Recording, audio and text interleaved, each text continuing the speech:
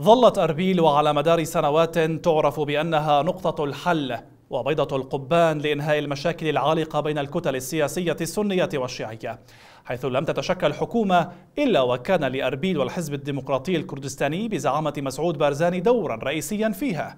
بشهادة اتفاقية أربيل عام 2010 لكن الدور الكردي وتحديدا أربيل قد تراجع مع اتساع حدة الخلافات بين البارتي والإيكيتي والتي وصلت حافة انهيار اتفاق الشراكة الاستراتيجي في توزيع السلطات.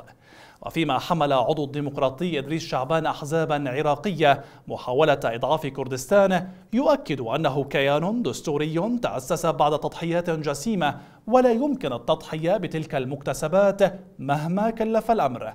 ويحمل السياسي الكردي ربوار محمد أمين الأحزاب الحاكمة في الإقليم مسؤولية ضعف دور أربيل وكردستان بشكل عام متحدثا عن جهات في بغداد استفادت من الخلاف الكردي لإثارة المشاكل الداخلية.